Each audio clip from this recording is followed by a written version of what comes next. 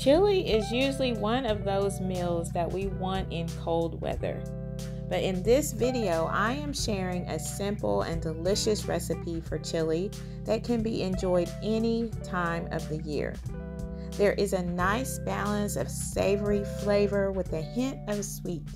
This turned out a little more spicy than I normally make chili, but the heat can be adjusted by leaving out the red chili peppers if you don't like a lot of heat in your chili.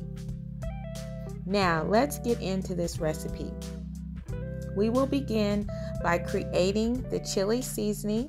However, if you prefer to save time and you want to use a pre made chili season, by all means, go ahead.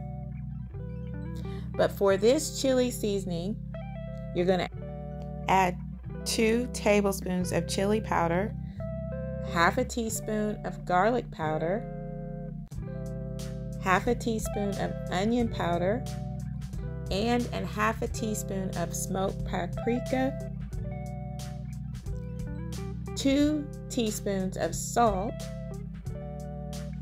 two teaspoons of cumin, a half a teaspoon of crushed pepper, and a half a teaspoon of black pepper.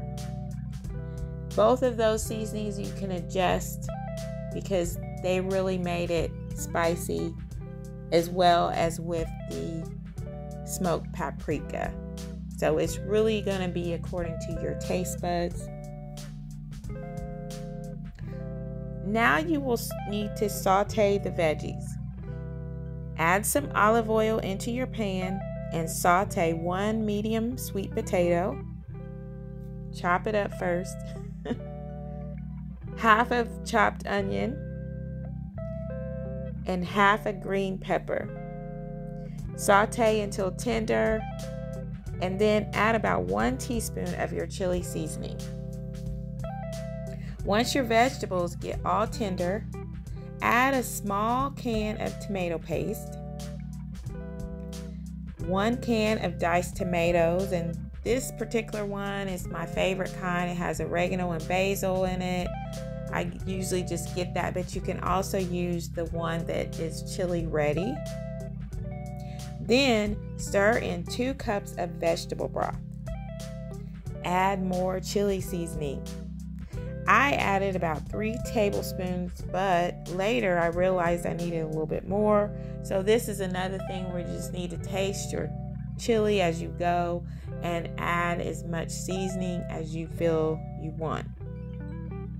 Then you're going to go in with one can of black beans. I realized later that I wanted more beans, so I added one can of dark red kidney beans.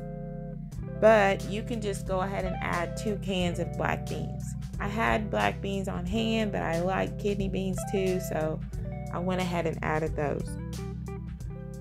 Now, I like to also add sugar to my chili. I just feel like it makes the flavors come together better. So I added one tablespoon of brown sugar, but you don't have to do this, that's completely optional. And then you're just gonna let this simmer on medium to low heat until everything comes together and is well incorporated.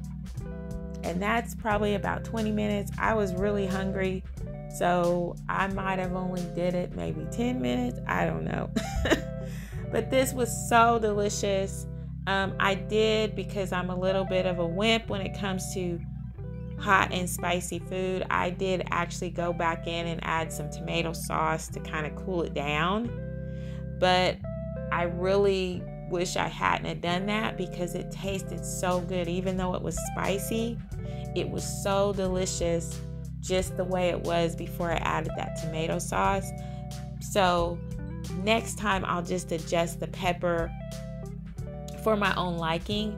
But the way I had it, it just tastes phenomenal. So I was very happy with this. This chili, it came together so well. It really made me feel like I had chili again. Aside from I've made chili before without meat, but this time it just had such a good flavor that it made me feel like I wasn't missing the meat in the chili. So I hope that you try this recipe and I hope that you enjoy it. Thank you so much for watching. Until next time, bye.